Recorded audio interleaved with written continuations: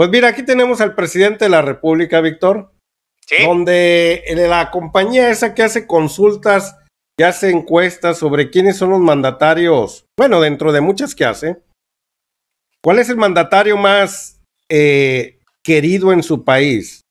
Ya había salido en segundo lugar el presidente de la República, creo que en primer lugar está una ministra de la India. Mohamed Moctezuma dice, Lili Telles está pero bien pendeja Sigan así, señores, viva la cuarta transformación. Muchas gracias, Mohamed Moctezuma. Sí, presume de pendejismo, no nada más es eso, sino bien, todavía es presumida en ese aspecto. Pero bueno, ya lo decíamos al principio, Vittorio, que se le cosían las habas por ser la Lili Telles que era cuando estaba en TV Azteca. No saben ser mesuradas ni... Dime, Víctor.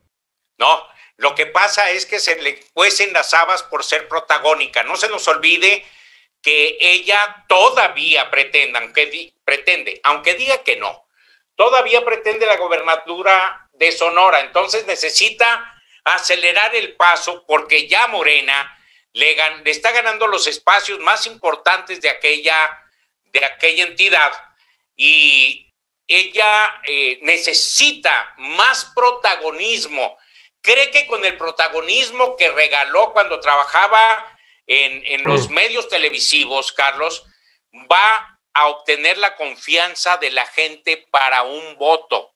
Y yo creo que allí es donde se equivoca, porque la gente ya no los quiere, ya los conocemos y ya no los queremos dentro de la política. Gente como, Lili, gente como Lili Telles, más que votos, lo que necesita es Botox porque lo único que son es caras bonitas ante las televisiones. Pues ahí está el presidente de la República gozando mientras aquellos están ardidos y haciéndose chicharrón por ahí, Víctor. Cuando llegan las buenas nuevas por todos lados, la noticia del Sputnik, la noticia de que viene mucha vacuna de AstraZeneca, de todos lados, el arropo hacia México es ahorita. La gente quiere participar en este país porque es foco de atención a nivel mundial. Morning Consult vuelve a posicionar en segundo lugar al presidente de la República como la segunda persona más querida en cada uno de sus países. Vuelve a reafirmar el lugar en el cual ha siempre estado el señor presidente y todo es gracias que a pesar de esas adversidades tan grandes que todavía llegan estas situaciones que la sabia naturaleza las echa andar, Víctor.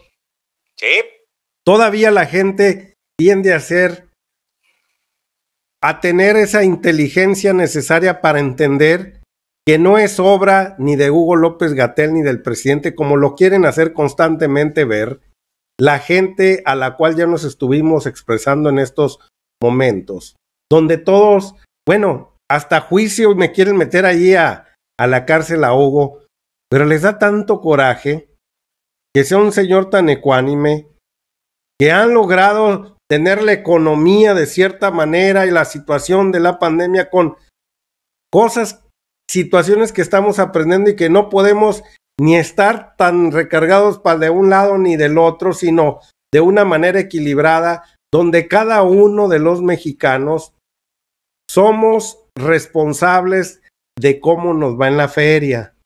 Cada uno sabemos el peligro de salir, de estar, de ir, de venir. Todos sabemos nuestra tarea que hacer y cada vez que sucede este tipo de circunstancias, yo no he visto a la gente común y corriente que tomen de culpables cuando tienen la desgracia, Víctor, de voltear a ver a Hugo López Gatel y restregárselos en la cara. Los únicos cínicos, fríos, inhumanos, son los hombres conservadores, los cuales le gritan de una manera y terminan haciendo las cosas al revés allá dentro de sus casas, haciendo unos fiestones que ya te imaginarás que ya los hemos expuesto aquí en Conexión. Pues mientras el presidente de la República goza ahora sí de esa cabal salud, saliendo, saliendo de su situación también eh, del virus que tiene todavía en este momento, ya lo dijo Olga Sánchez Cordero, que para el lunes tenemos presidente ahí en la mañanera, Víctor. Sí, sí, es muy probable, Carlos. eh, su fortaleza le da para eso y para más. Y además no creo que aguante ya mucho tiempo estar encerrado. Sin embargo, deberá seguir cumpliendo con las disposiciones de quienes lo están atendiendo eh, desde el punto de vista de la salud. Y bueno, pues las determinaciones no solo están en él, sino también en quienes se está haciendo cargo de velar o vigilar eh, su enfermedad.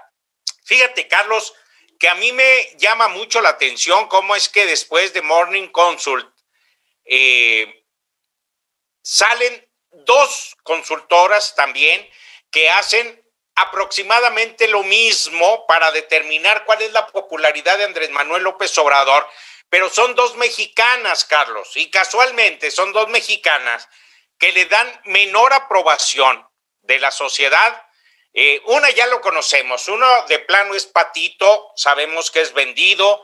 Eh, una de estas... Eh, el financiero. Consultoras.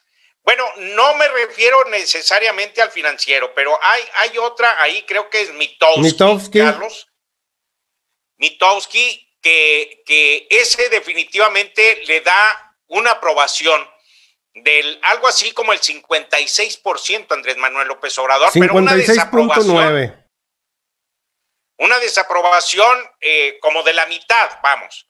42.8.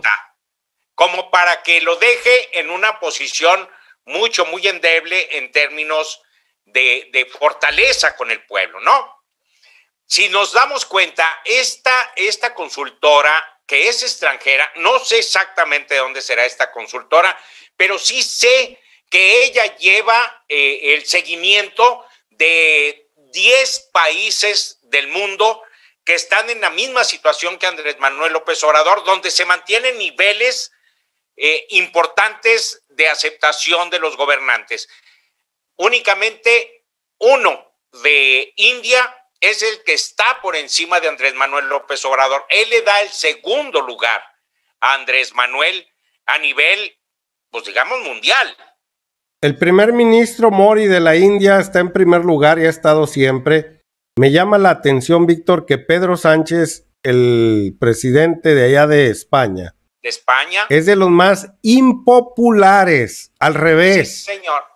De los más, aquel que vino una vez a quererle leer la plana al presidente de la República y le dio una cátedra de historia para que terminara callándose este sinvergüenza que lo habían mandado para convencer al presidente de la República. Le dio una clase a este Pedro Sánchez y se quedó callado ahora sí. Y no lo hizo oscuritas el presidente, Víctor, recuerdo muy bien. Lo hizo en plena comparecencia ante todo, ante los micrófonos de todo México y de todo el mundo.